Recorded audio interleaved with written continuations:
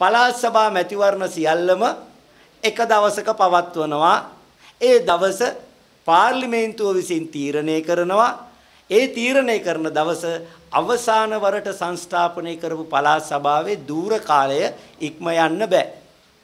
අවසාන වරට සංස්ථාපනය කරේ 2014 සැප්තැම්බර් මාසේ ඌව පළාත් සභාව මේ බර වචන වලින් කියලා තියෙන්නේ 2019 සැප්තැම්බර් වෙනතුරු පළාත් සභා ඡන්දත් නෑ කියන එක. හැබැයි ඒකේ දැන් වර්තමාන ව්‍යවස්ථාව සහ පළාත් සභා ඡන්ද විමසීම් පනත අනුව පළාත් සභාවේ පළවෙනි රැස්වීමේ ඉඳන් හරියටම වසර පහක් යන දිනේදී පළාත් සභාව ඉබේම විසිරී යනවා. එතකොට මැතිවරණ කොමිසමට පුළුවන් මැතිවරණ කැඳවන්න. දැන් මේ මේකදී මැතිවරණය පවත්වන දිනේ කවුද තීරණය කරන්නේ? පාර්ලිමේන්තුව. පාර්ලිමේන්තුව මේ දිනය තීරණය නොකළොත් දිනය තීරණය කරන්න නියෝග කරලා පාර්ලිමේන්තුවට නියෝගයක් ලබා දෙන්න ශ්‍රේෂ්ඨාධිකරණයටවත් බලයක් නැහැ. එහෙමනම් මේ දිනය තීරණය නොකර සිටියොත් පාර්ලිමේන්තුව මොකද වෙන්නේ? පවතින පළාත් සභා අකණ්ඩව මැතිවරණ නැතුව දිගටම පවත්වාගෙන යනු ලැබෙනවා.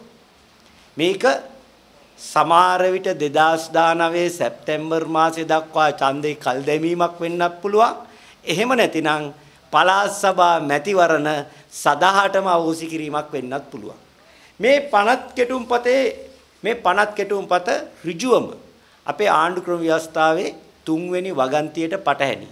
තුන්වෙනි වගන්තිය මොකද්ද කියන්නේ?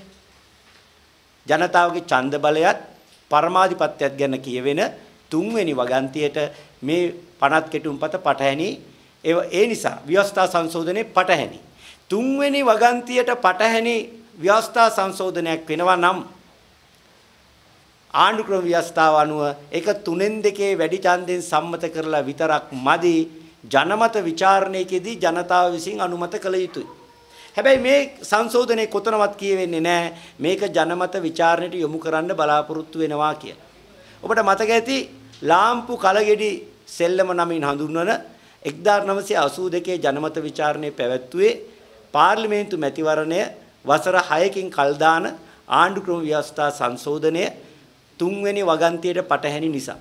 එහෙමනම් මෙයත් අනිවාර්යයෙන්ම ජනමත ਵਿਚාරණයකට යොමු කළ යුතුමයි. නමුත් ඒ බව පනත් කෙටුම්පතේ සඳහන් වන්නේ නැහැ. ඒ නිසා මෙය මෙම කෙටුම්පත ජනමත ਵਿਚාරණයකදී ජනතාව ලවා අනුමත කරගත යුතුයි කියලා නියමයක් ශ්‍රේෂ්ඨාධිකරණයෙන් ලබා ගැනීම සඳහා ඒකාබද්ධ විපක්ෂයේ අපි ශ්‍රේෂ්ඨාධිකරණයට යන්න තීරණයක් ගත්තා.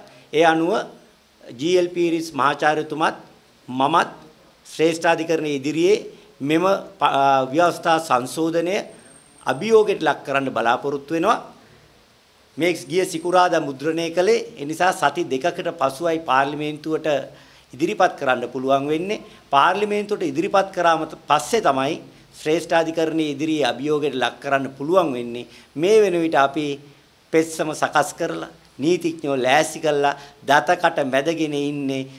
මේක පාර්ලිමේන්තුවට ඉදිරිපත් කළ වහාම ජනමත ਵਿਚාරණයට යොමු කරන මේ නිල්ලා අනිවාර්යයෙන්ම ශ්‍රේෂ්ඨාධිකරණයට යන්නේ.